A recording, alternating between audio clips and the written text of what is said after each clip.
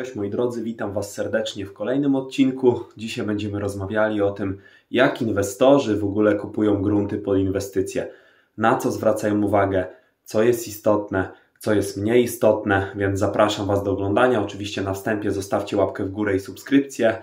No i później pod koniec filmu napiszcie komentarz, co myślicie, czy się zgadzacie, czy się nie zgadzacie.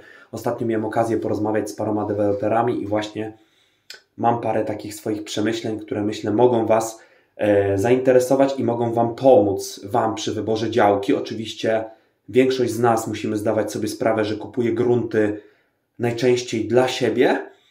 Mm, natomiast oczywiście tu też myślę na kanale znajdą się osoby, które kupują grunty w celach inwestycyjnych, na przykład wybudowanie jakiegoś małego osiedla albo jakiegoś mieszkania, później na sprzedaż.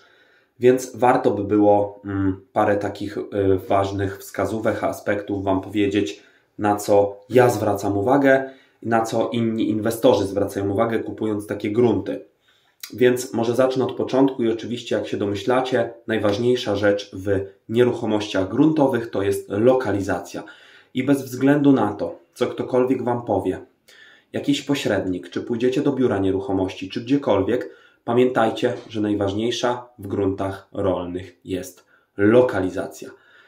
Rzadko się to zdarza, natomiast nawet jeżeli słuchajcie, jest jakaś dziura w ziemi w centrum Warszawy albo w centrum jakiegoś dużego miasta, raczej ona już jest zagospodarowana, ale gdyby była, to wierzcie mi, że ta dziura w ziemi będzie dużo droższa niż jakakolwiek nieruchomość, która jest super, ma podłączenie mediów, która ma super dojazd do drogi głównej, nawet przy, jest przy drodze krajowej, ale jest położona gdzieś tam dalej na obrzeżach. Dzieje się to właśnie głównie dlatego, że tutaj kwestię bardzo dużą y, robi właśnie y, lokalizacja. I teraz y, trochę słuchajcie na temat tej lokalizacji, czym się kieruje taki deweloper, czy kimś, czym się kieruje taki inwestor, który właśnie wybiera taką nieruchomość. Po pierwsze i co najważniejsze, moi drodzy, to jest e, spojrzenie na to, czy w okolicy są inne lokalizacje. Zwróćcie uwagę, że jeżeli deweloper stawia blok, jeżeli stawia jakieś osiedle, to najczęściej, nie zawsze, ale najczęściej w okolicy mamy już jakieś, jakąś inną infrastrukturę. To znaczy, może jakąś stację, może jakiś peron, przystanek niedaleko, mm, sklep, przedszkole, szkołę, centrum handlowe, mm, jakiś park, ewentualnie las.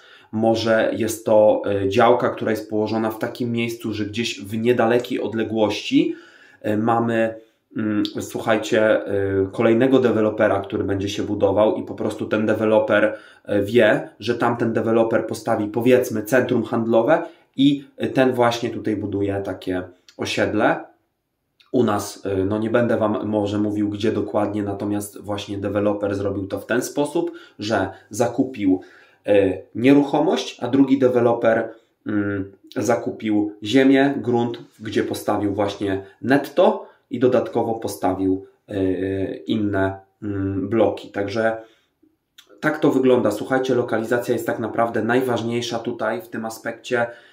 Też słyszałem o gdzieś chyba w Poznaniu był grunt, który y, tam, nie wiem, 1000 metrów czy 2000 metrów y, kosztował, słuchajcie, ponad 1000 zł za metr, właśnie ze względu na to, że mm, był położony w bardzo dobrej lokalizacji i inwestor był w stanie tyle za niego zapłacić, bo wiedział, że po prostu ta stopa zwrotu jest na tyle duża, że jemu się to i tak zwróci. Więc pierwsza rzecz to jest lokalizacja, na co patrzy deweloper każdy. W szczerym polu raczej nikt Wam działki nie kupi, no chyba, że faktycznie tutaj jest możliwość urbanizacji i po jakimś czasie to się wszystko będzie urbanizować. Kolejna rzecz, słuchajcie, to jest dostęp do mediów. Mm, I ja wiem, że to się będzie pokrywało z taką działką indywidualną, jak kupujecie dla siebie, natomiast tutaj no nie ma żadnej magii, trzeba powiedzieć konkretnie, jak to wygląda, więc mówię Wam dokładnie. E, to jest dostęp do mediów i tutaj wiadomo, prąd, woda, kanalizacja i tak dalej, jest to bardzo ważne, a teraz jeszcze przy obecnych kosztach, słuchajcie, wykonawcy, przy obecnych kosztach podciągnięcia tych mediów, pracy, to jest naprawdę istotne, żeby te media były. Jeżeli te media są, to taki inwestor jest w stanie nawet zapłacić czasami dwa razy więcej, tylko po to, żeby po prostu zakupić ten grunt, żeby potem nie mieć problemów. Tyle, ile jest problemów. Najczęściej ci deweloperzy czy takie duże firmy, inwestorzy mają swoje dojścia, wiedzą gdzie zadzwonić, komu co powiedzieć, natomiast to też jest czas, a jak wiecie, czas to pieniądz, szczególnie przy takich dużych pieniądzach, jak się bierze na przykład 10-15 milionów na to, żeby wybudować blok. Więc yy, tak to wygląda. Jeżeli chodzi o te media, słuchajcie, no to tak, yy, istotne właśnie jest to, żeby były one przy tej działce. Istotne jest również to, żeby był dobry dojazd. To znaczy, najlepiej, żeby droga była utwardzona, najlepiej, żeby yy, było to przy jakiejś drodze głównej, żeby e, osoba, która później zakupi, nie wiem, to mieszkanie, czy to mieszkanie w bloku, czy dom, czy co by to nie było, żeby po prostu nie miała za dużego problemu, bo wtedy też ta działka jest bardziej atrakcyjna. Pomijam fakt, że ta działka oczywiście musi mieć wydzielone granice, musi mieć wyrównanie terenu, musi mieć oczyszczona, a ta działka musi być cała. To znaczy, że najlepiej, żeby nie było właśnie drzew już na tej działce. Ktoś powie, że to głupota, ale słuchajcie, zadzwońcie teraz do firmy i powiedzcie, żeby Wam oczyścili tysiąc metrów działki, to zobaczycie, ile to e, kosztuje. Także to nie jest, słuchajcie, takie e, wszystko mm, tanie i to też są koszty, które ten inwestor musi e, ponieść. Ktoś powie, że to są małe koszty dla niego, może i tak, ale słuchajcie, z takich małych kosztów później się składają te koszty większe. Mm, I teraz tak, jak to wygląda, słuchajcie, moi drodzy, dalej. E, jeżeli chodzi o kolejną kwestię, jak inwestor na co zwraca uwagę, to jest oczywiście kwestia prawna. I tutaj mówimy o tym, czy ta działka, czy ta nieruchomość nie jest zadłużona, czy nie ma na nią nabranej jakiejś hipoteki, czy nie ma dwóch współwłaścicieli. To wszystko sprawdzamy w księdze wieczystej i ona jest wnikliwie przewertowana, słuchajcie, najczęściej, no nie dokładnie może przez inwestora, przez dewelopera, bo oni już mają tak jakby swoich ludzi.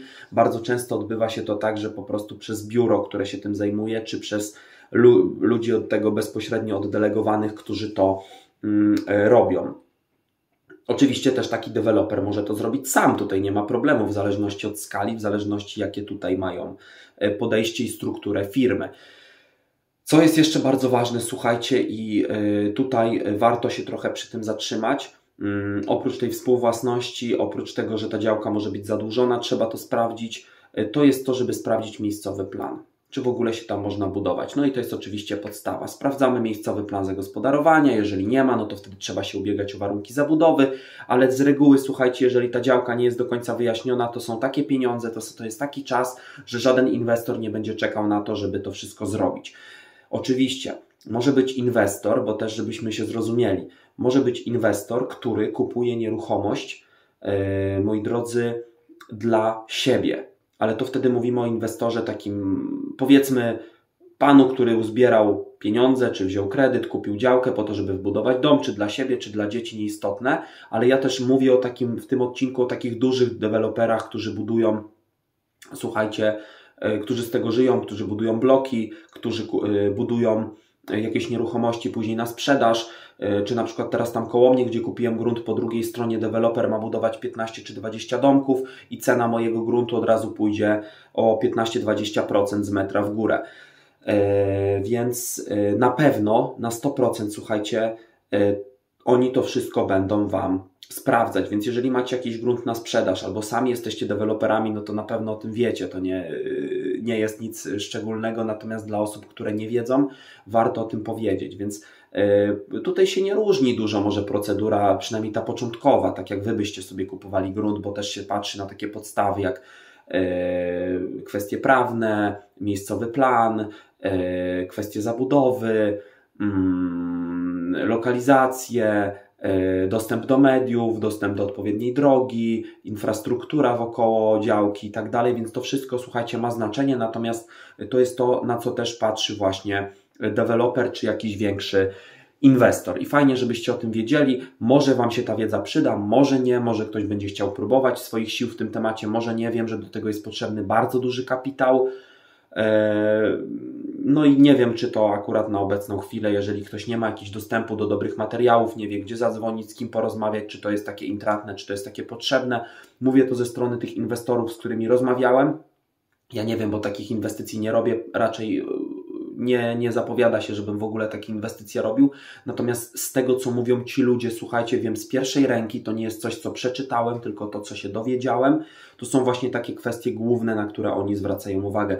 Oczywiście później wchodzą parametry, bo trzeba i zaprojektować ten budynek i tak dalej. Później też y, są rozmowy z różnymi innymi ludźmi, nawet tutaj słuchajcie, bardzo często ci deweloperzy mają swoich prawników, mają y, swoich ludzi od tego, bo też są różne kwestie prawne, często nierozwiązywalne, trzeba pewne rzeczy załatwiać w sądach, więc to też nie jest, słuchajcie, takie e, proste. E, I cóż, no to by było na tyle z takich ważniejszych informacji. Jeżeli się podobało, to oczywiście zostawcie łapkę w górę, subskrypcję i do zobaczenia już w kolejnym odcinku. E, trzymajcie się, cześć.